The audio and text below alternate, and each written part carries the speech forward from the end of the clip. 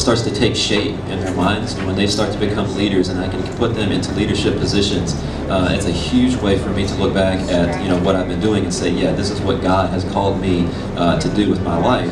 And one of the biggest things that I absolutely love doing is not teaching kids about music or teaching them to love music. I do love that part, but the best part is when I get to be almost a friend or a mentor to them.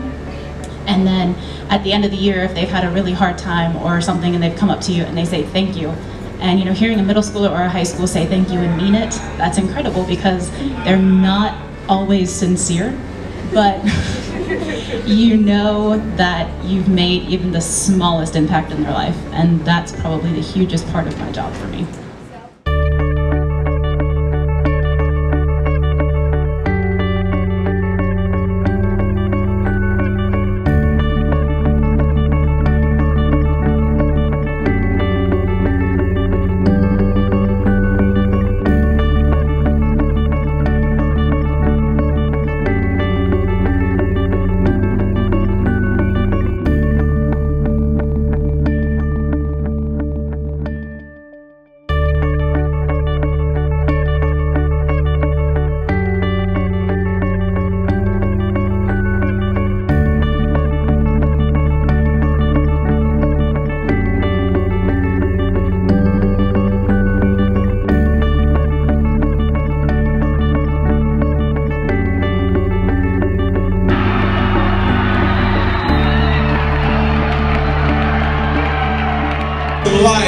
We always have what we call the fellowship of the doubters.